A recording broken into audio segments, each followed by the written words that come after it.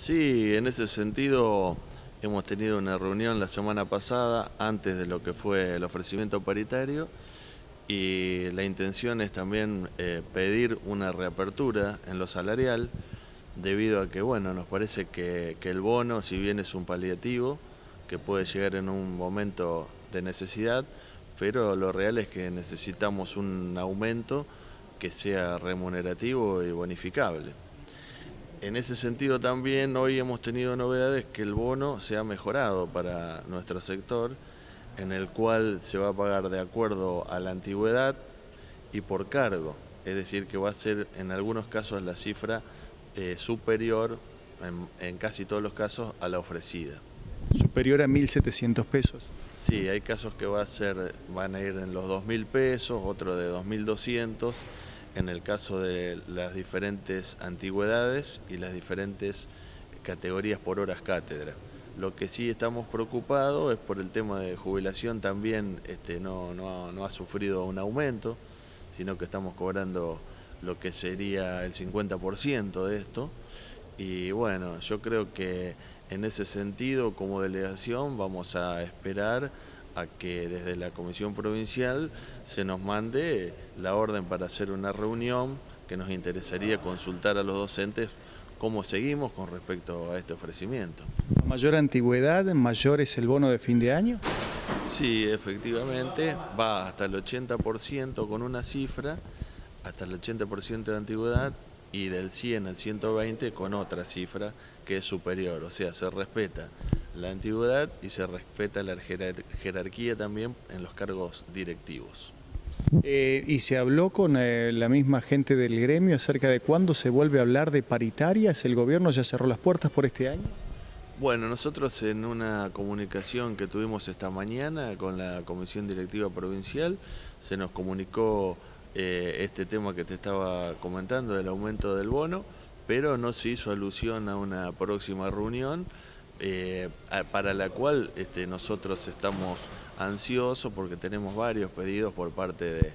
de, las bases, de la gente de la escuela, que nos está pidiendo eh, este, una reunión por el tema paritario, porque evidentemente en lo salarial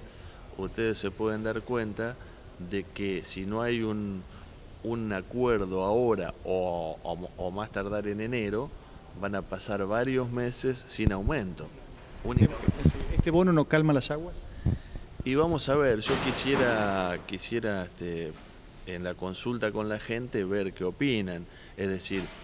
uno, las opiniones son muy divididas. Es decir, por un lado, el paliativo de que llega a fin de año, que también vamos a cobrar el aguinaldo y que esa cifra eh, de alguna manera puede, eh,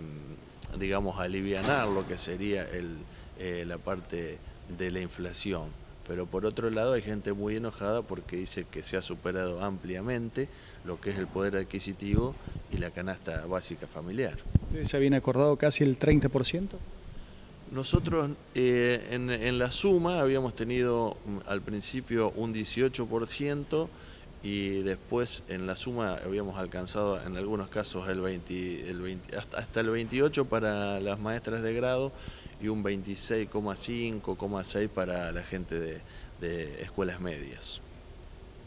Bueno, a la espera de, saber de cuánto es el bono de fin de año del gobierno y después escuchar a las bases. Siempre AMSAFE ha tenido esta modalidad, ¿no? Escuchar a todos y cada uno de los docentes, es lo que le diferencia de muchos gremios.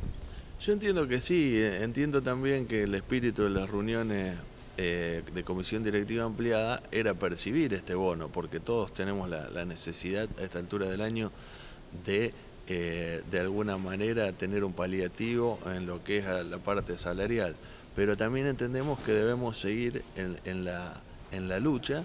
para eh, poder reabrir la apertura salarial y que esto, en un paliativo hacia fin de año, podamos comenzar de una manera más acorde el año que viene, por lo menos, por lo menos que en enero comencemos a hablar para poder percibir aumento en febrero y que ya hablando este, básicamente que no se nos pasen tres o cuatro meses sin aumento y que después eso repercute en lo que es el salario en la suma anual, es decir, en el porcentaje promedio anual. Todo indica que AMSAFE va a seguir siendo punta de lanza en esta historia donde los gremios estatales discuten con el gobierno sus saberes. Bueno, sí, pero fue importante en una reunión el 20 de octubre pasado, que estuvimos en, toda la intergremial participando y todos tenían la misma preocupación, eh, pero cabe rescatar que sí, ANSAFE un par de meses antes ya había pedido la reapertura.